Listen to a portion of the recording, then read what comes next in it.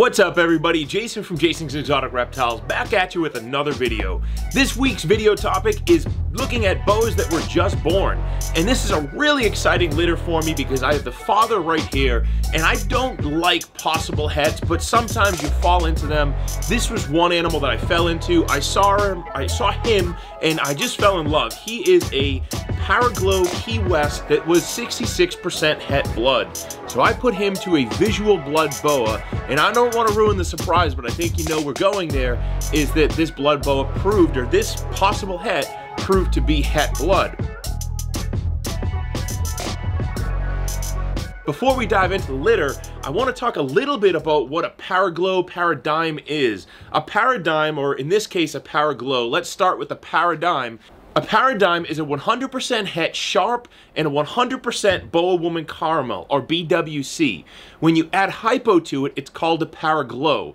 And the unique thing about these double hets is they work together to make a visually different animal. So this animal is a 100% het blood, 100% het Boa Woman Caramel that is also just happens to have Key West in it, which is a whole different thing. Doesn't we don't need to talk about that at this point, but it makes a T positive looking animal. This really kind of pretty bright looking animal. Now this is not one of the best Paraglows I've ever seen, but for sure he's a nice looking Paraglow paradigm is just kind of brought down a little bit on the saturation level, I should say on this kind of this glow level. So the paradigms look a little bit like a glowing uh, normalish looking animal. Definitely something unique and different about them. The Paraglows bring it up a notch to that next level, and that Key West just adds in some really cool additional features. So with all that said, let's flip the camera, take a look at the babies we got and the mom who just finished laying. Here we have the tag that are, or my little label that I told you I do in my breeder series. So if you check out that video, you'll see that I'm doing exactly what I say in that video. And, you know, don't pay too much attention to every note on here, but generally what we're looking at is that the ovulation date was somewhere around 1110, 1112, and today is 314. So let's take a look at mom and her babies. So there is mom. She is a visual hypo blood. And these are the pile of babies. We haven't disturbed her yet. We haven't disturbed her babies yet. But you can see some really pretty babies in the mix. This one right here, I know everybody's going to say, let me buy it. That's not going to happen. I'm probably going to keep that animal just based on how pretty it is. But you can see those blackish eyes, those solid eyes. That is the blood trait. One thing I will say, and a lot of people get confused about the Paraglow Paradigm stuff, is that Paradigm works like a hypomotley. So Paraglow works like a hypomotley, but with hypo in it. So let's talk about Paradigm. So all of these babies are either 100% het for Sharp Albino or 100% het for Boa Woman Caramel.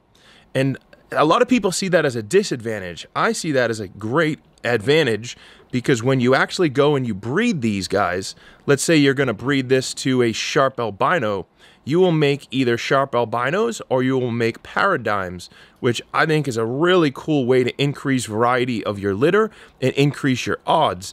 Now, if you bred this to a boa woman caramel, you're going to get visual boa woman caramels and paradigms as well. So, or, or combinations of. So I'm going to have to do a whole dedicated video just based on what Paradigm, Paraglow, and all the other stuff is.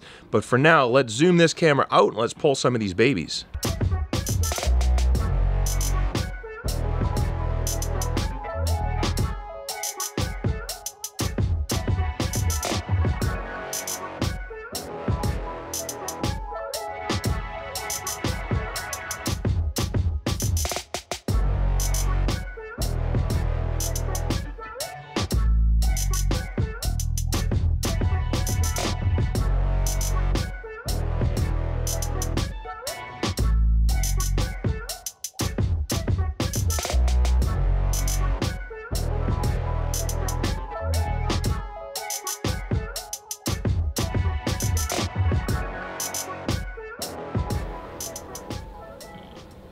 These are the babies all cleaned off. I haven't counted them all yet, but she did a really good job. Only two slugs, a lot of different blood boas, a lot of variety in here.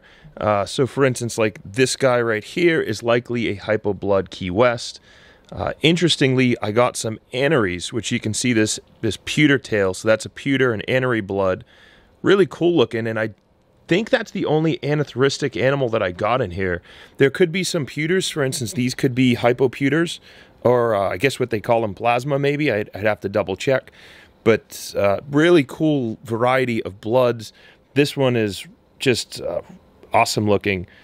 And I am going to say that that is almost guaranteed a Key West, maybe super hypo blood, just by how different it looks from the from the whole batch. And this is really your time to do your morph identification. Is uh, the colors haven't come in completely yet, but when you have everything together and you have these kind of combos, so for instance, this one here is is likely a Key West or a hypo Key West, uh, but when you you know, I have to still take a good look at these. I literally just washed them off. But this is when it's your best opportunity to do that morph identification now, and then you can confirm after they shed out when you put them all together, that's usually what I do is I'll just get an idea of what these babies look like. Maybe I'll take some pictures of the whole litter. This video serves as similar to that. Look at how cool that anery is. That's a really cool looking animal. I don't know if she's going to survive. She has a pretty big umbilical cord hanging, but that may shed off and she may turn out to be fine. So we'll see how she develops over the next couple months, or I should say the next couple weeks and as she sheds and we will see how this these Key Wests turn out. Some just I'm very happy with this litter. I was kind of saying, when it's gonna be a bummer if the uh, Het blood doesn't prove out, but clearly he proved out, and that made me very happy to see this morning.